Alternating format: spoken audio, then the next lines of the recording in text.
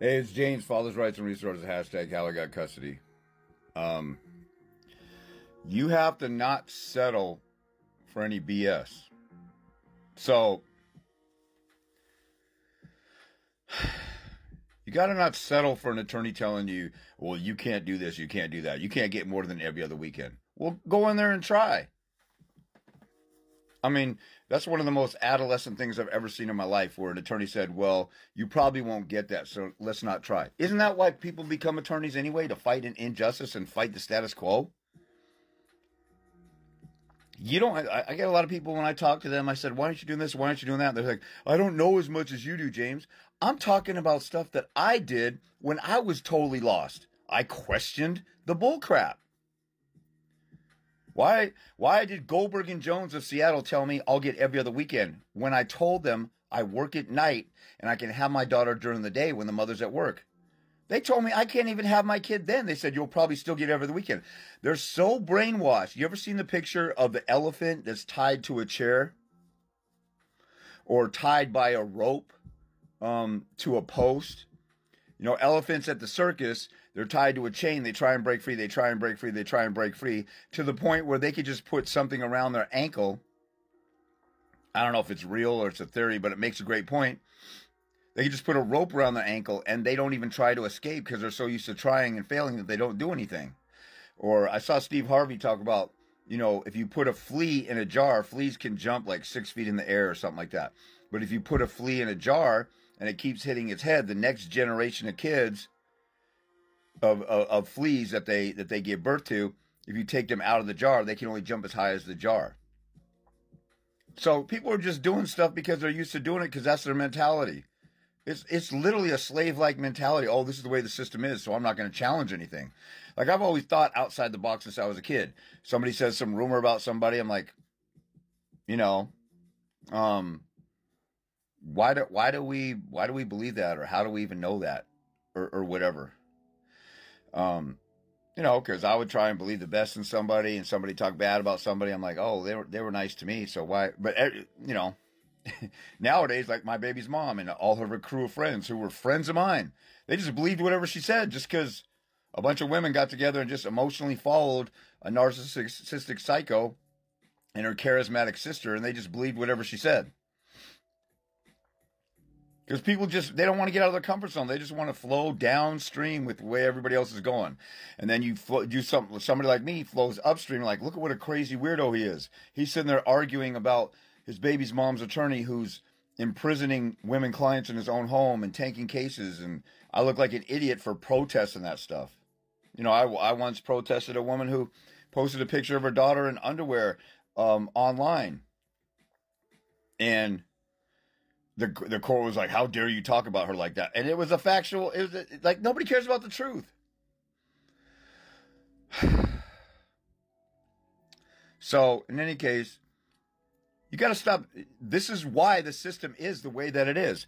You know, there's a guy on my, you know, my most popular video on my YouTube channel is the it's called the number one argument for 50-50 which is kind of the same argument for full custody. Like everybody wants to hear 50-50, but nobody's arguing for 50-50 what I point out in that video. So the latest post on that, this guy says, get a lawyer. Why would some dummy come on my page and say, get a lawyer when I talk about winning without a lawyer? And everybody hates lawyers. Everybody just says and trusts and believes what the status quo is, and they can't think for themselves you got to not settle for things like the judge saying, um, I, I think I mentioned it in my last video, a judge not getting the mother found in contempt. Or I got guys who the mother took off to another state or took off without the child, and it's not an emergency to them. Everybody will say the emergency courtroom is or ex parte is only for if the child's bleeding or get beat get gets beat up. I've seen women get custody of their kids or get the kids back because they said, oh, the father took the kid to a campsite and there was one guy, a friend of his, drank a beer. I literally saw a woman get an emergency order restraining the dad from a kid and he had to go to the full hearing because that's what she said. Or women go to court and say, the father kept the child from me yesterday and there's no court order or anything and they get an emergency ex parte order. Now, that doesn't harm the guy, but then he's got to wait two weeks until he can get access to the kid that he's used to seeing regularly. I can just hear people right now. Well, you just said, oh, guys should keep their kid on Thanksgiving weekend. Yeah, so what? You, are afraid that she'll go to court and get an order placing the child with her temporarily on an emergency basis? You guys are such scaredy cats over the littlest petty thing. You shouldn't settle for a judge saying, "Well, that's not an emergency. The kid's not hurt or in pain." Or yes, they are. They are in pain and suffering from being traumatized, being yanked away from their father, and their father not being around. All the science and the data says that children suffer when a father's not in the home full time. And now she's taking the the the father out of the children's life immediately, and it's been months now. How come you not? How come? How can you not do something and rescue the child? See, you got the reason why I come out like people like, oh my god, you're a genius, or you think of all these things. You know what I'm thinking of? Friggin' common sense. If I if my kid is living with me 50% of the time or whatever I have an agreement with my baby's mom, then all of a sudden she gets a stick up her butt and takes off in another state, that's obviously going to rattle the child and traumatize the child. Some people don't want to move their kids to another state with an intact family, or some people, or when the kids move, the kids got an adjustment period. So, if that's the case, when you have someone abruptly uprooting a child and yanking them away, and then all you guys should know that I present scientific data about children suffering without a father in the home full time. Those of you who actually care about your kids enough to go look at my free resources on my flow page. If the science says children need both parents, and everybody knows if you kidnap a kid from a parent, unless the kidnapper tortures the child, I, I would make an argument. Oh, so if a total stranger kidnaps the kid, you're going to say, well, let's not go after the kidnapper, your, your Honor. You'll say, let's not go after the kidnapper as long as the kid's alive and safe and not being tortured. The child should be where the child should be. It's traumatizing to a child for the family to be broken up, for there to be a divorce and separation. And then when you yank the parent totally out of their life, what if the what if you yanked? And I've given this example before. What if you yanked a teddy bear away from a kid that they sleep with that night and they're crying like I can't get to sleep and and then like that's too bad you need to grow up and they're only 2 years old or something like that. And then you keep the teddy bear away, you dangle the teddy bear to make them behave or something like that. Some people would think that would be cruel.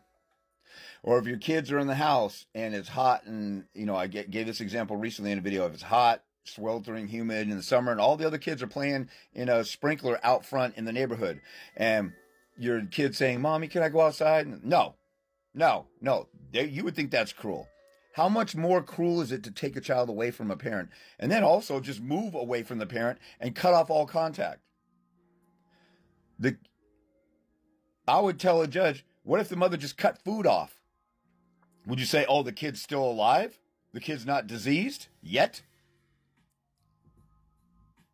You have to unbrainwash these people. The reason you don't try something like what I'm talking about, your lawyer doesn't do it, because everybody settles for the status quo. If if nobody in the history of mankind, if or if everybody in the history of mankind settled for the status quo, there wouldn't have been any, you know, Mother Teresa's, Martin Luther King's, Malcolm X's, Harriet Tubman's, or any other hero of history. There wouldn't be anybody doing something different and changing stuff or changing the mentality or being a revolutionary or creating an invention. Let's just follow along and do what everybody else does.